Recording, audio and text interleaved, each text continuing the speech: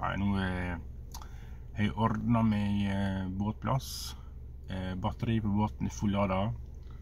I also got uh, a new uh, fishing snelle because the snelle that I have is is broken and it's only 250 kroner, so very cheap.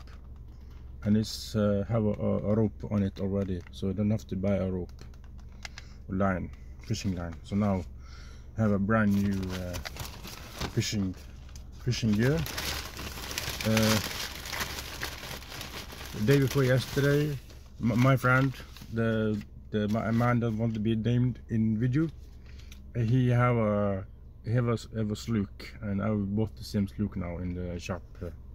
So I bought three like this, and then uh, let's see if, if I can if I can get any uh, fish. And also bought a blue one here, the silver and blue. So yeah, look forward to go fishing again.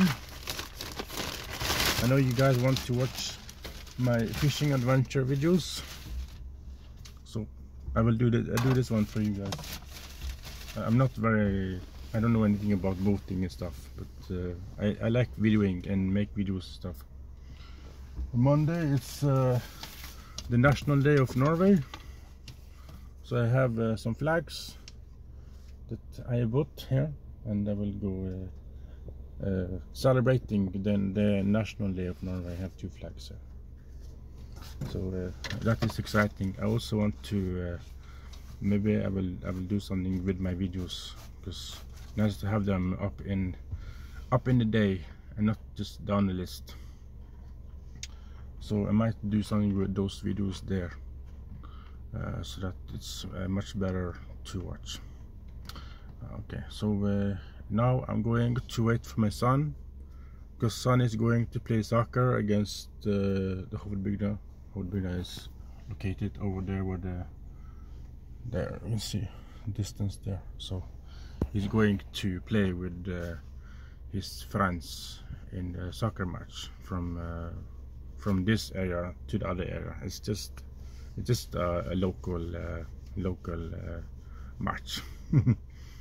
Uh, I hope that he scores some goals because he usually is quite good at soccer playing.